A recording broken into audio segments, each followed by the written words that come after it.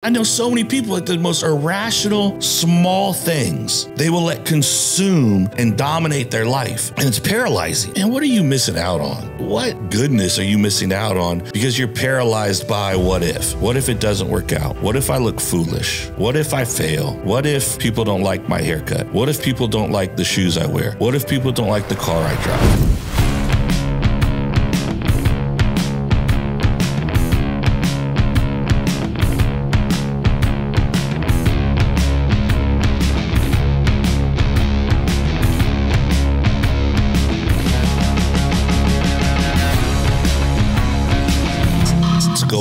What's going on? What's going on? It is the Big Dog Podcast. I'm Josh. Got my son Logan over here on the other side of the studio. What's up, son? What up? Man, it's good to see you. Good to see you. I feel like I haven't seen you much lately. No? You're pickleballing a lot. It's kind yeah. of a new thing, huh? Yeah. Pickleballing. Yeah. So Logan's at work. It's really awesome. I see him. He comes here in the dungeon, locks himself in here, just does his thing, does his work. Then he leaves work and he goes to the retirement community and plays pickleball with a bunch of 90 year old men and women. And I think, I think, what's your record? You're two and nine versus the 80 year old division female, right? Yeah, sure. We'll go with that. Okay. No, I don't play with old people my friends and me just like started randomly playing. Why are you against old people? Let's talk about that real quick. What do you have against old people? Mamu would I don't be have curious. anything against old people. As an older generation, Mamu might want to hear a clarification on why. I don't uh, have anything against the older generation. I just do not participate with them as they are um, better than us. Oh, good answer. Good answer. So, of your friends who pickleball, now this is a group of friends you used to play golf with a lot. Yep. And pickleball seems to be the activity of choice right now. Yeah, I feel really weird and old, like because we're like all 18 and 19, and we're playing old people sports. Yeah, to so the point that you've you've purchased equipment. I've bought a paddle. Mm-hmm. I mean, you kind of have to to play, right? I, I, don't know anything about it. I mean, it's like so anything I else. I, I, wouldn't know um, anything about pickleball. It's on a tiny tennis court, right? Yeah, sure. What? Is it not? Yeah, kind of. Is the net the same height as a tennis net? No. Lower? Yep. And you play with a wiffle ball? Kind of. So no matter how hard you hit it, it doesn't really go anywhere fast. Yeah, it does go fast. It's a wiffle ball. Not as fast as a tennis ball, but it does go fast. If it went as fast as a tennis ball, you wouldn't have any time to react. Because you're on you? a tiny tennis court. Kind of. There's a line in front of the net. It's called a kitchen. You can't stand in it if the ball's in the air. You can't stand in the kitchen? Nope. That sounds sexist. All right. So you're what we've determined in the first two minutes of the podcast. You're kind of ageist and sexist. I mean, according to you. take it as you will. All right. Well, I'm happy for you. All right. Pickleball. What do you do? What, what do you, besides work? Uh, not a lot. Okay. Not a lot. Gotcha. I mean, I drive around with your mom. I hang out with your mom. Gotcha. Yeah, that's funny. That actually sounds I should, what do you do outside of work? I'd be like, your mom. Like it would have been like a weird joke. You, you what? uh, nothing. nothing. We'll just we'll let that slide. Yeah, I mean, you pickleball. I you, work. I work. Yeah. Watch stupid shows in the background yep. while I do work. Football's on, I put football on in the background while I work. There's always something to do, man. Yeah. There's always something to do. Maybe I should. Maybe maybe one day I'll come play pickleball. Yeah. Maybe. You don't think I can? I don't think you will. Do you, don't, okay. I show up for pickleball. What are the odds my team wins? You're not winning. Bro, you've seen me on the tennis court. I'm a yeah, beast. Seen you play tennis. Yeah, right. What's the difference? You put me on a smaller court? Yeah, because tennis is more, you can hit it like it's more about I don't know. I don't really play tennis, but you have to be more Clearly. like agile and uh, Pickleball. Man, I'm like a cat, a yeah. large cat, like yeah, like a lion. What do they call them? A Tamascan? Those are the big cats. Not a cat guy. Well, yeah, me either. I don't really know.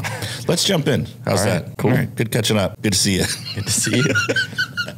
So, look, guys, what I want to talk about today, it's a weird time. It's a weird, weird time out there. And if you're paying attention, like, I don't watch the news. I don't know what's going on. Apparently, like, there's a war over in like Israel and Hamas and all that stuff. I mean, that's a serious thing. I mean, that that sucks. War sucks of any kind. Russia and Ukraine are still getting into it apparently, and Ukraine's asking for money and credit and all that cool stuff. And you know, things are expensive. Shit's expensive, and you know, people are paying more attention to spending. Hopefully, you know what they're doing with their money and stuff. But if you are, you know, a small business out here, it's an interesting time. There's lots of people having a tough time. Things are different. They're struggling, and you know, things that they've always done that were successful uh, in the in years past aren't necessarily working now, and they keep doing the same thing, and they're wondering why the same shit isn't producing the same results. And it's like, guys, things things change. In 2021, I mean, you know, when when that that weird cold was going around, there was so much money inserted into the economy. People were just getting money left and right. People were spending money left and right. Businesses were being pumped flush full of cash, and it's really interesting in the last year or so to see a lot of these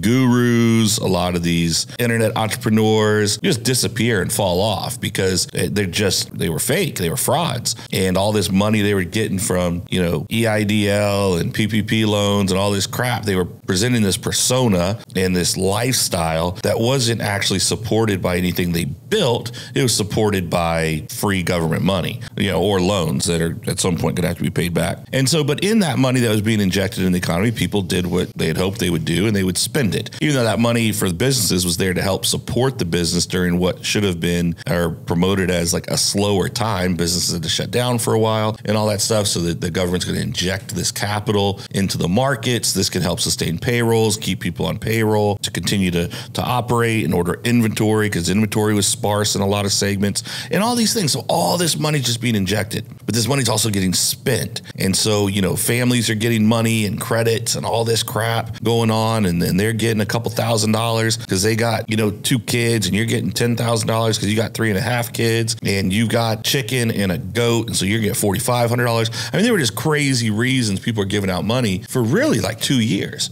Well, all that free money stopped. Well, in many, many, many businesses in 2020 and 2021. So you got all this money going on, you know, coming into the markets, people's households. They're spending and businesses are flush. They're doing really, really well. They're growing like crazy. Life is good. People are starting a business. They're blowing up. And, you know, businesses that have been around for a while, you know, maybe they're doing better than they've ever done. And all that's great. Then middle of last year starts up. Rates are changing. Interest rates are going up. Prices of things are going up. Um, the the free money being injected into the market dries up and stops. No more EIDL for businesses. No more you know certain credits you're getting as a family, as a household or employee.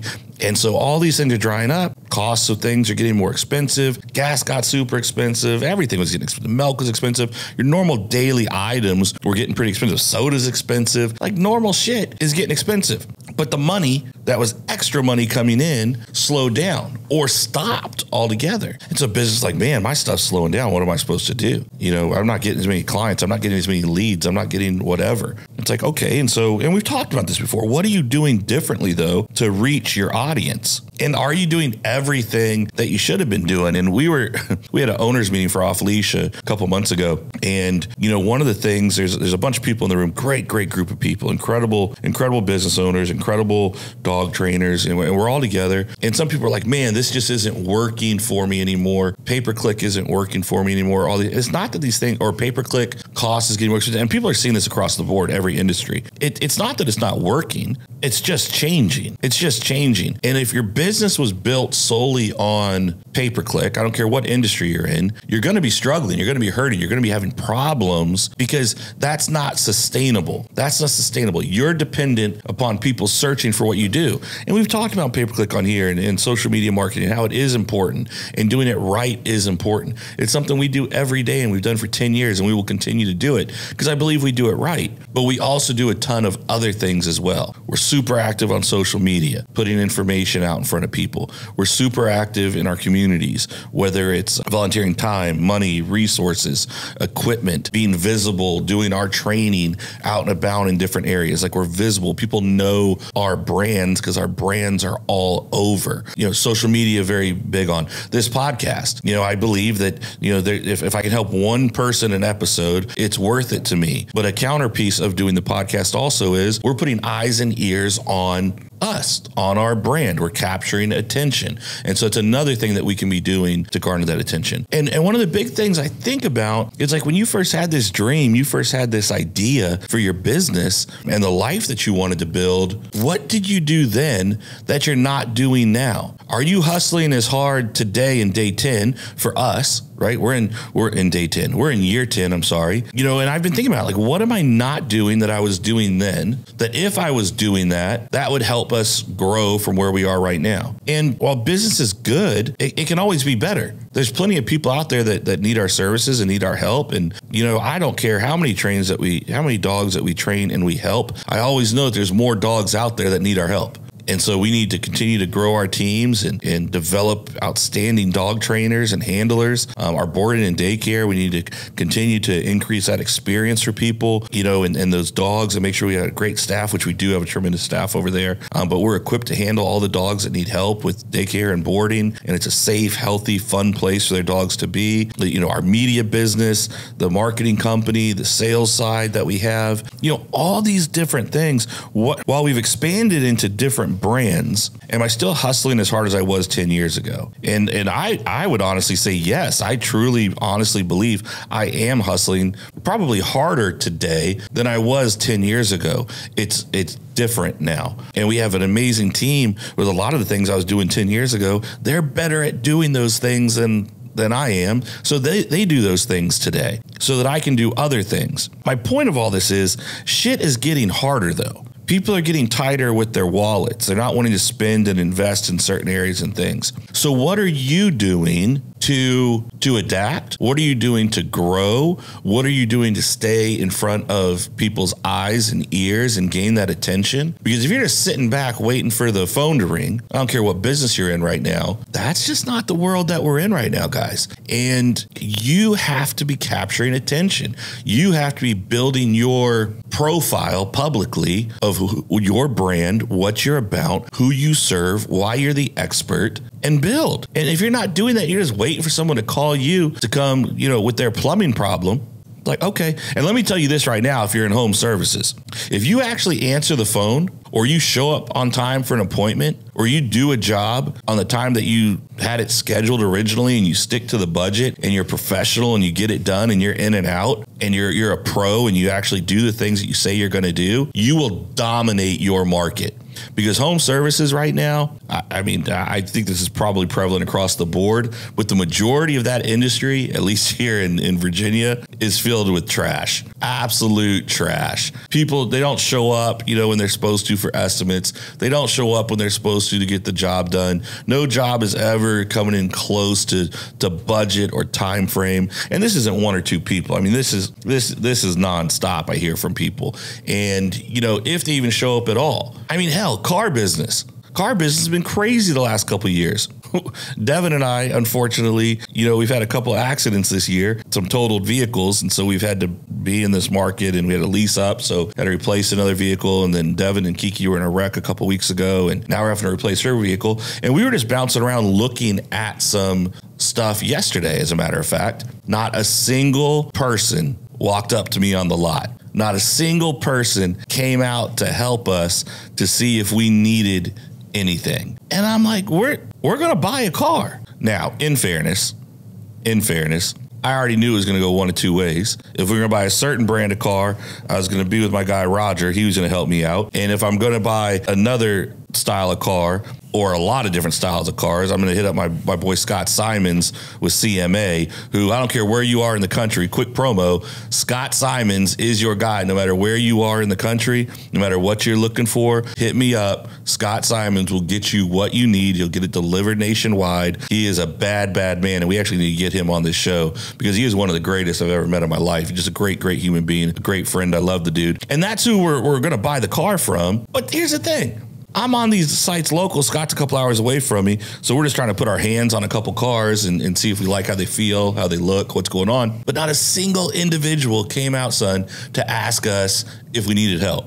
And I was like, damn. I guess I'm out here looking like some of these area codes we don't necessarily want to answer the phone from because they never buy.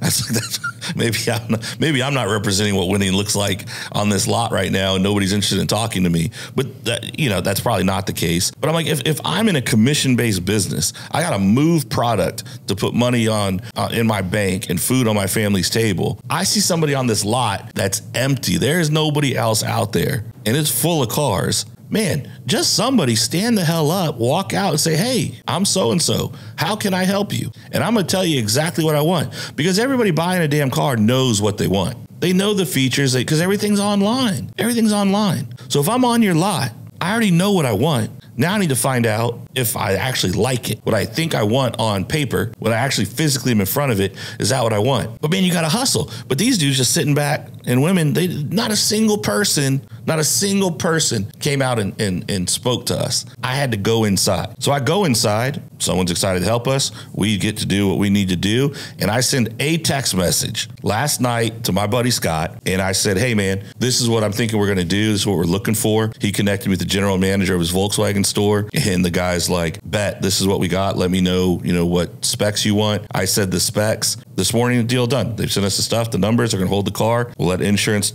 take its piece, you know, that it needs to settle out for the car that was totaled. And we're going to pick up this car. It was three text messages and it's done. It was done.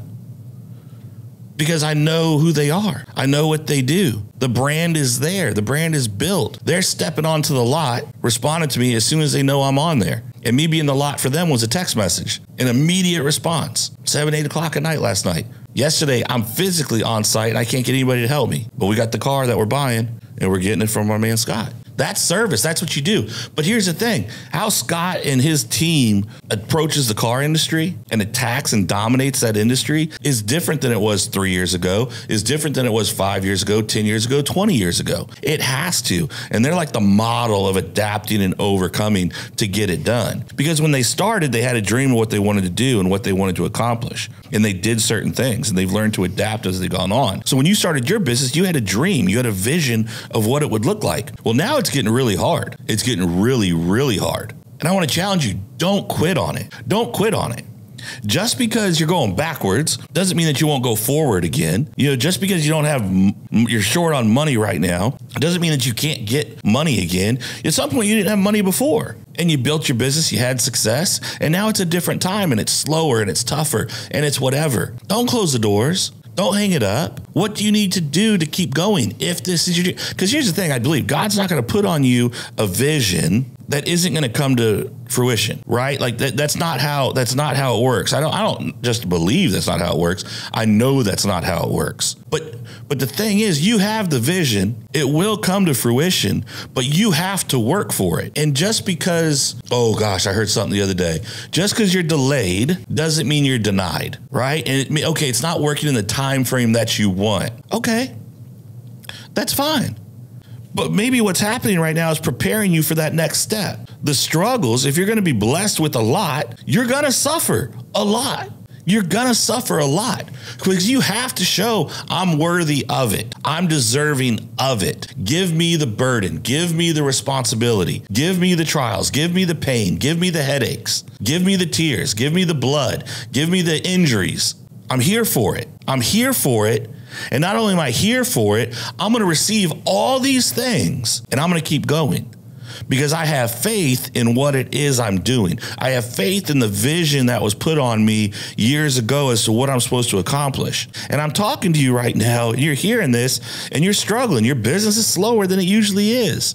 Maybe your finances aren't how they want to be. Maybe your health isn't where it wants to be. Maybe your marriage is not where it wants to where you want it to be. And maybe all these things are stemming from stress from the business. Or is stuff going sideways in your relationship and that's causing stress and distraction and bullshit and now your business is suffering. You got to attack whatever is causing the issues and whatever is causing the damage. Get that shit under control before it starts tearing up everything else.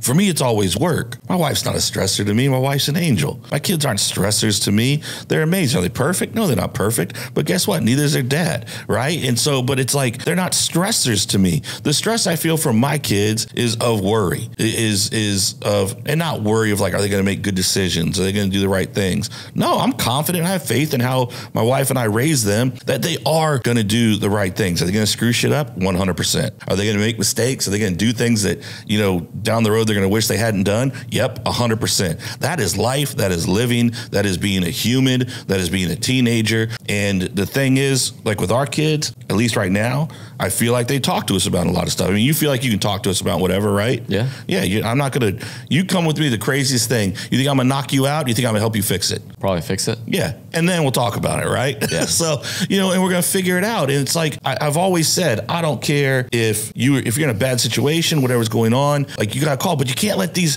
these stressors, whatever they are, overwhelm you and fuck up life.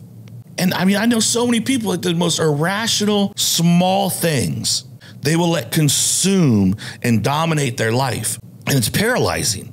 Man, what are you missing out on? What goodness are you missing out on because you're paralyzed by what if? What if? What if it doesn't work out? What if I look foolish? What if I fail? What if people don't like my haircut? What if people don't like the shoes I wear? What if people don't like the car I drive? What if people don't like the way my beard is trimmed? What if people don't like that my beard is gray? Maybe I should just for a minute and darken it. What if what if I forget to wear my hat and my bald spot is evidence? Oh my gosh, I look like such an idiot out here. What if my kids make a bad decision and they go to that birthday party and they have a beer? What if what if what if what if what if what if what if Okay, what if? What if they don't? What if they lean into the stuff you taught them and they don't do stupid shit, but they're going to do some stupid shit?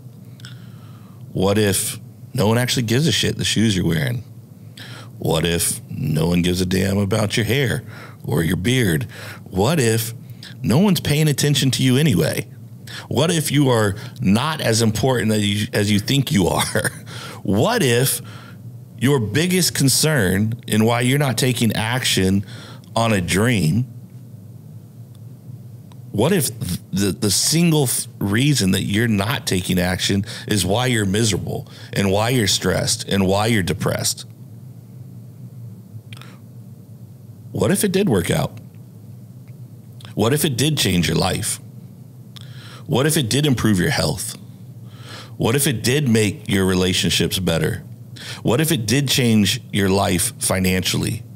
What if it did change the what if it had generational impact on your family? What if it had generational impact on the world?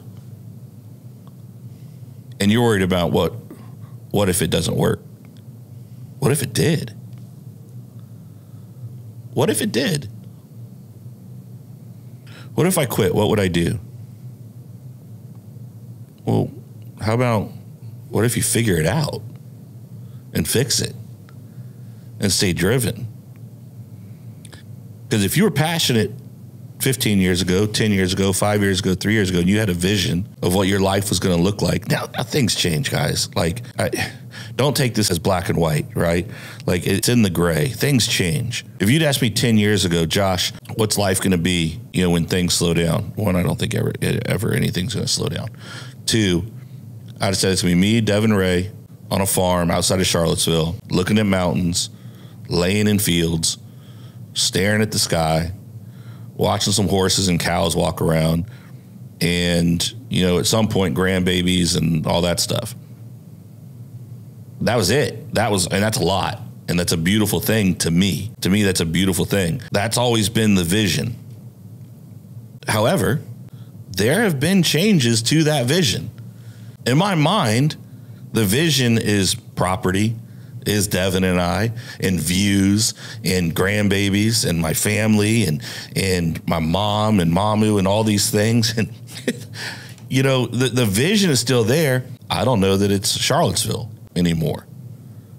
there's so much out there. There's so much world to see. There's so much America to see and beautiful places. And and I don't know if, if that's if that's it. And here's the thing: I'm not ditching out on a vision. The vision changes as you grow, as you mature, as you develop. You've got to know it's like, hey, like, all right, I'm still on track. We're still going towards the right thing. But those details may look a little different. And a lot of people get hung up on, okay, that's the destination quarter mile, I got to make a left. And then in three miles, I'll make a right and I'm going to head north. In the 45 miles, we're going to make a slight right. We're going to be going northeast and we're going to be blah, blah. Like they have to know every step along the way. Whereas me, I feel very good about that destination. And I know I don't need necessarily need to know three steps ahead because I have faith in the vision that was put on my heart and on my mind that hey i'm going to understand. I'm what the, the step i'm in right now is preparing me for the step i got to take tomorrow. And that's preparing me for the step i got to take the next day. And all these steps i don't need to know four five six steps from now. I have faith what I, my step i'm in right now is preparing me for that next one. So right now guys you're struggling and you're hurting and there's pain. Like i'm just to quit. I'm to give up. I'm to close the doors I'm moving on to something different. I'm just gonna go back, get a regular job, do it. And man, hey, look, and that's fine. Go for it. I challenge you though. Are you really done? Are you really done? Think about how hard it was when you started. Because what happens when it's six months from now and you're like, I screwed up. And now you got to start over. You've been out of the game for six months. You're starting completely over. The people that didn't quit are still in it fighting and they're grinding and you're further behind. Maybe you just need to mix it up. Maybe you just have to make some changes. Don't quit though. Don't quit on your dream. Don't quit on the vision because there's nobody else who can do it. There's nobody else who can fulfill that. Well, people joke me. People make fun of me. They say I'm not cut out for it. People say you're different. You're off. Yeah, I'm different. I'm different. My vision's my vision. My dream is my dream. I'm me. I do what I do. Nobody else can do it. There is no other me. There will never be another Josh Wilson like me. But there'll never be another you either. I'm not saying that like I'm just freaking model whatever. That's not what I'm saying. But I'm just saying it's your vision. There's not going to be another you. If you don't do it, who will?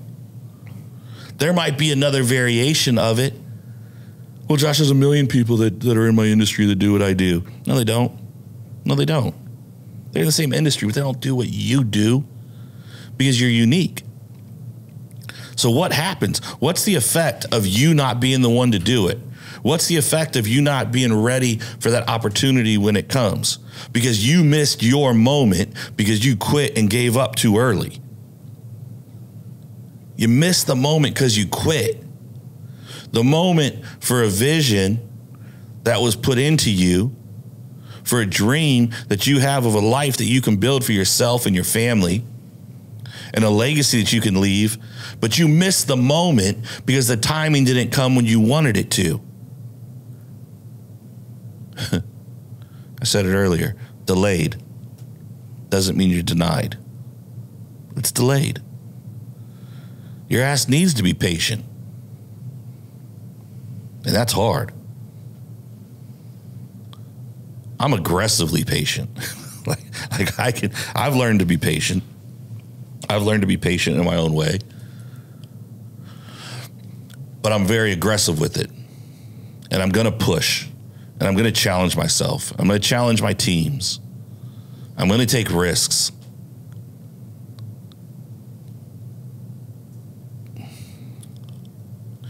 The only thing you can assure you control timing of anything is if you quit. If you quit, you will know the moment that it ended. You will know for a fact the moment to the second when everything you've dreamed for and believed in and had faith in to that point of you quitting ended. You cannot control the timing of things except for when you quit. Because when you quit, it's done, it's dead. So stop trying. Don't wait though. You have to take action. You can't just sit back and wait for things to fall in line and take place so that you can propel and your business will grow. Because that shit ain't going to happen. God gave you that vision, God gave you the belief. You've got to have the faith. And part of that faith is taking action and knowing that you have no control over the time. Action is the work. Action and faith is dealing with all the bullshit and still moving forward. Delayed, not denied. Going backwards for a minute doesn't mean that you can't go forward again. Don't quit. Stay on it. Do the work. Stay focused on your faith. Believe in yourself. I don't care if nobody else does. I don't care if people are telling you you're crazy. They're not you. They're not you. And you're not them. But when you start doubting yourself, when you start losing faith in the vision that only you can see, you got to check yourself. You got to get yourself out of that. I want you to fight. I want you to win. You're in my industry, you're in other industries. You're a freelancer, you're independent, you're just getting started, you're a, a long time business that's just going through it right now because things are tough. I want you to win. I want you to win. If you're a good person, you got good character, you take care of people, you look out for people. If you're in my business, you're good to the dogs, you care about the dogs. It's all about the dogs and the health and well being and the development of people who are under you. If you're that person, I want you to win. If you're not, oh, I want you to fall out. I want you to fail so badly. I don't need you to fail for me to win. I just don't want you in the industry dealing with any dogs. so I could really give two shits about you. I care about the dogs. But if you're not that person, God, I want you to win. I want you to win big because you're supposed to impact someone. You're supposed to change somebody's life. You're supposed to impact a family supposed to impact hundreds and hundreds and hundreds, maybe thousands of dogs. If you quit, who do you impact? No one down the road. And it'll eat at you. Do not quit. Fight. Just keep swinging. The more pain you endure, the more you suffer, the greater the reward is going to be. That's how it works. That's how it works. And when you feel like it's the heaviest, that's because you can carry it you can carry it. You're the one. You're just delayed. You're not denied. I appreciate you guys so much. Let us know what you think. Share this with someone you feel like needs to hear it. And we're going to catch you next time in the studio. Love you, son. Love you. All right.